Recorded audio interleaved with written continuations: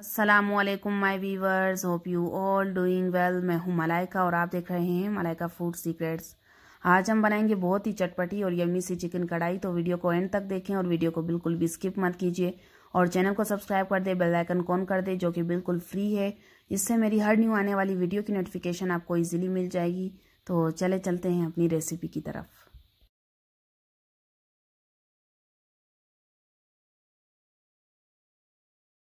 बिसमीम हमने लिया है एक पतीला और उसमें ऐड कर देंगे हाफ़ कप ऑयल और फ्लेम को मैंने रखा है मीडियम। जब हमारा ऑयल गर्म हो जाएगा, तब हम इसमें ऐड कर देंगे जिंजर गार्लिक का पेस्ट, टू टेबल स्पून दो खाने के चम्मच और इसे लाइट गोल्डन होने तक फ्राई करेंगे।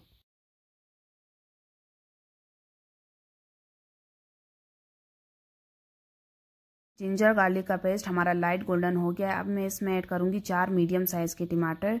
जो मैंने छोटे पीसेस में कट कर लिया था और अब हम इसे भूनेंगे तब तक, जब तक इसका ऑयल सेपरेट ना हो जाए।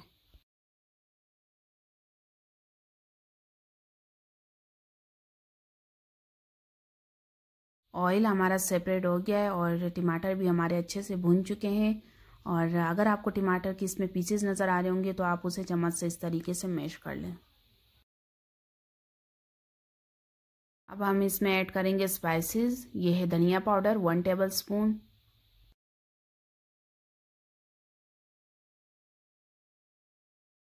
ज़ीरा पाउडर वन टेबल स्पून और ये है chilli flakes half tablespoon गोल लाल मिर्च कुटी हुई।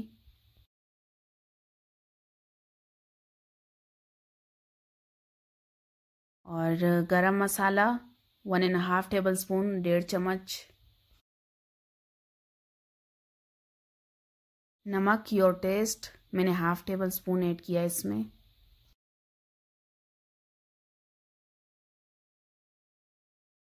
लाल मिर्च पाउडर, हाफ़ टेबल स्पून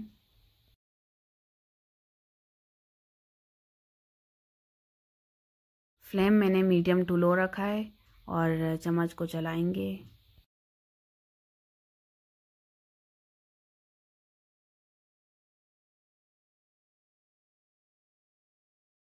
हल्दी हाफ़ टी स्पून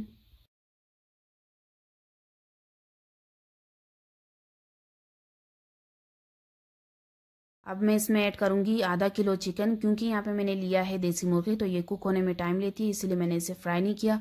इसे मैंने प्रेशर कुकर में 10 मिनट में कुक कर लिया था और इसमें मैंने ऐड किया है नमक, हल्दी, तीन से चार अदद लहसन के जवे और एक छोटी सी प्याज और सूप के साथ ही इसे मैं ऐड कर लूँगी। अगर आपके पास फार्मी चिकन अवेलेबल है तो आप उसे धो के, नमक, हल्दी डाल के और इसे ऑयल में फ्राई कर ले और एज इट इज़ इसी ग्रेवी में ऐड कर लें। क्योंकि मैंने इसमें सूप ऐड किया है तो थोड़ा सा और इसे भूनेंगे दो से तीन मिनट तक।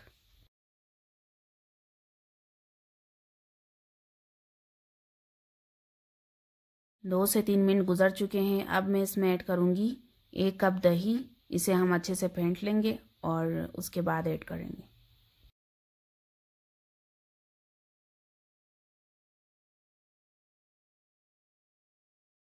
दही ऐड करना इज़ मोस्ट इंपॉर्टेंट थिंग क्योंकि अगर दही ऐड करेंगे तो इससे एक तो फ्लेवर अच्छा आएगा और इसका जो कलर वो इन्हेंस हो जाएगा।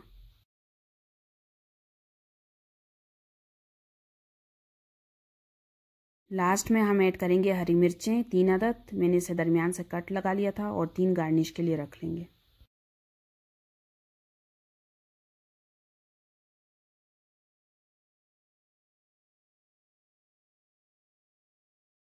और अब इसमें ऐड करेंगे हम जिंजर। मैंने एक छोटे पीसेस में कट किया, एक स्लाइस में। स्लाइस वाले मैंने गार्निशिंग के लिए कट किए थे।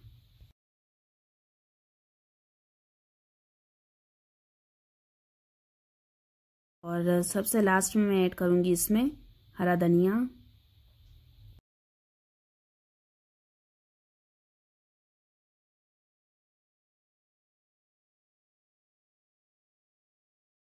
चिकन कढ़ाई रेडी है, ये बहुत ही मज़ेदार बनी है और फ्लेम को कर लेंगे ऑफ़ और इसे किसी डिश में पोर कर लेंगे। डिश में पोर करने के बाद इसके ऊपर मैंने जिंजर से गार्निश किया, जो मैंने स्लाइस में कट किया हुआ था और ये है हरा धनिया। उम्मीद है कि आप सबको ये रेसिपी बहुत ज़्यादा अच्छी लगी होगी। इसे अपने फैमिली फ्रेंड्स में शेयर करना मत भूलें। सब्सक्राइब के बटन को क्लिक करें बेल आइकन को ऑन करें। इससे मेरी हर न्यू आने वाली वीडियो की नोटिफिकेशन आपको इजीली मिल जाएगी मेरे चैनल पे। तो मिलते हैं नेक्स्ट वीडियो में। तब तक के लिए अल्लाह हाफिज़। दुआ में याद रखें, जहाँ रहें, खुश रहें।